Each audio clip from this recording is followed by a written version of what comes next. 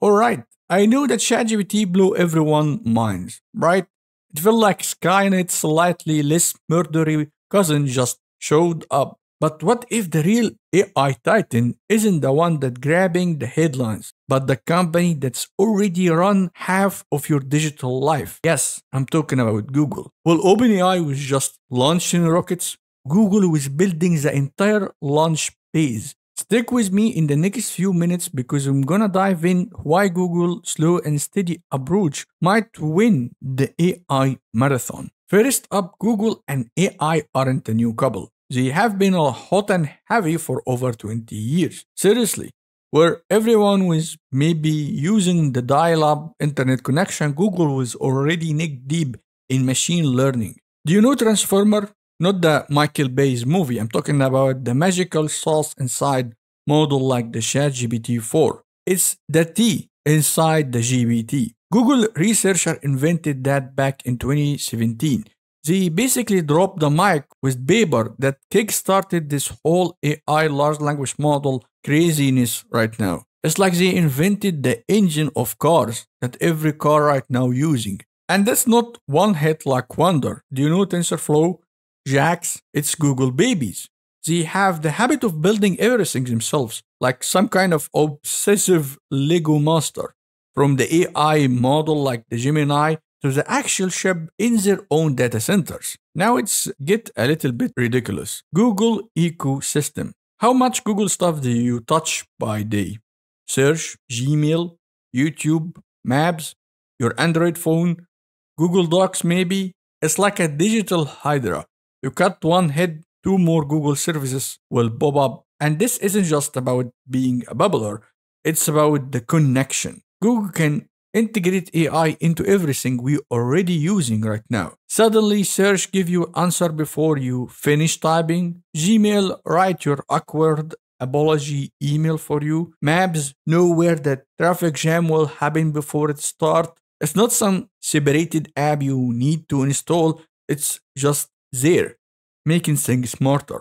This scale is nuts. Google search have 90% of the market. 90. That's almost everyone on earth asking dumb question, deep question, weird questions billions of times by day. Google Workspace have a 3 billion user. Androids billions more. That give Google two scary things. The first one, you're kinda stuck.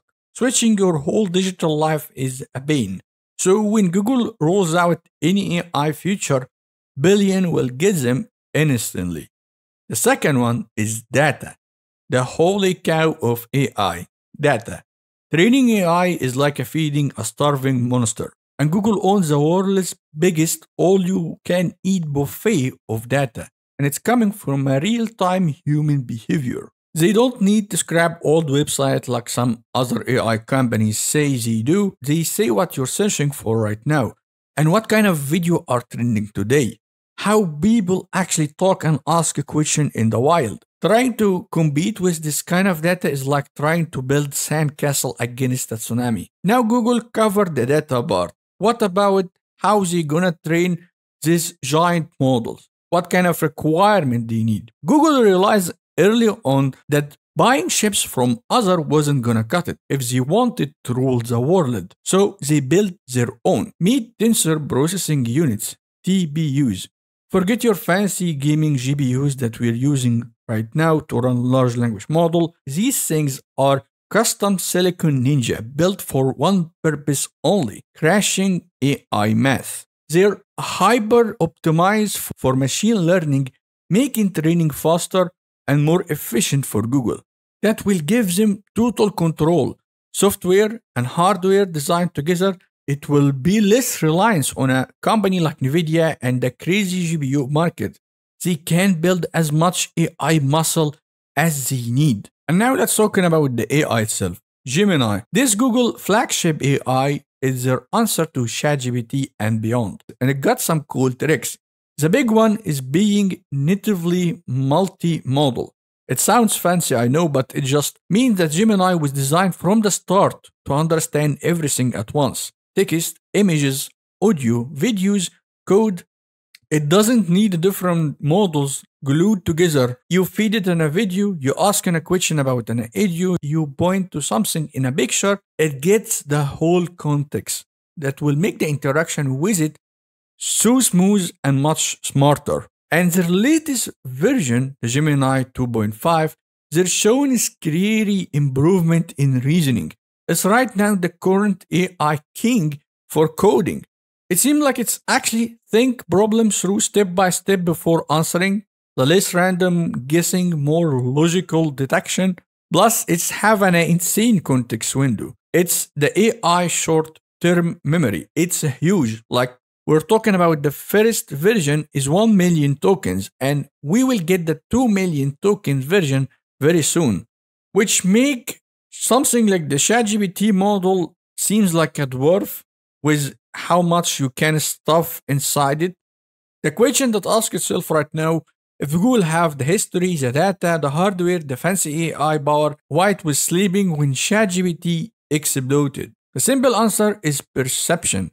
OpenAI nailed the launch of ChatGPT. It was super easy to use, fun. It felt like a new feature landed inside your desktop. But Google, being Google, the giant company that's that's serving billions of users daily, they can't just throw half-baked AI experiment in search or Gmail.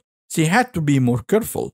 So when OpenAI was getting all the buzz and the headline and Microsoft was writing checks left and right for them, Google looked extremely slow. Their first AI model, aka Bard, was very bad. It hit the kind of meh status. Nobody cared about it. That was the problem.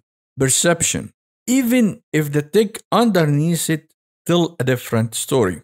So what is the story? Let's look to the actual performance. Forget about the hype. Look at the benchmark. And yeah, I know benchmark can be faked, but they have some clues inside it. Recent testing comparing the Gemini 2.5 Pro to the OpenAI based model show Google isn't just playing catch up, they're actually bowling ahead in some real important areas. Gemini is doing better in complex reasoning, easing coding challenging, and this is crazy because Gemini models was one of the worst that you can use in coding.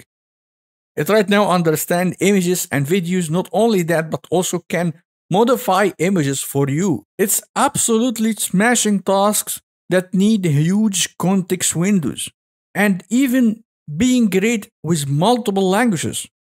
Is GPT-4 still good? Yes, but for tough complex tasks that require long context, Gemini is looking like a beast. The gap everyone is talking about is closing super fast. In some way or another, Google might already be in the lead. And don't forget about integration. Google Master Plan isn't just selling you another subscription per month. It's baking AI into search and Gmails, Docs, and Android, making the tools that you already pay for or use for free way much smarter. AI overviews in search giving you quick summaries, Gemini helping you write emails. That's mean that AI becoming more useful in context. Just thinking about the last model, the Gemini 2.5 Pro, you can use it daily for free without paying a single dime. If OpenAI deployed model like this, you have to pay $200 just to access it. What Google is aiming for is certain feedback loop. More user, more data, better AI, happier user, more user, and good luck with competing with this kind of feedback loop. Think of it like this. OpenAI built the rocket ship. That amazed everyone, but Google has been building the entire space program, the launch pad, the mission control, the astronaut training facilities, the fuel, and now they have rockets that are just as fast, maybe slightly faster. Look, the AI war is far from over. It's gonna be extremely wild. Companies like OpenAI, Anthropic, Meta, DeepSeek, Alibaba are all doing amazing things. But don't sleep on Google. Their long term vision, foundational research, the custom hardware, the powerful model, and the deep integration into everything put them in a very strong position. They might not always have the loudest hype, but they're quietly building an AI machine that might just be unstoppable in the long run. They're playing the marathon, not just the sprint. Google future look very bright. And if you find any something useful in this breakdown, please give me a like and definitely subscribe for more videos. Thank you for watching and see you on the next one.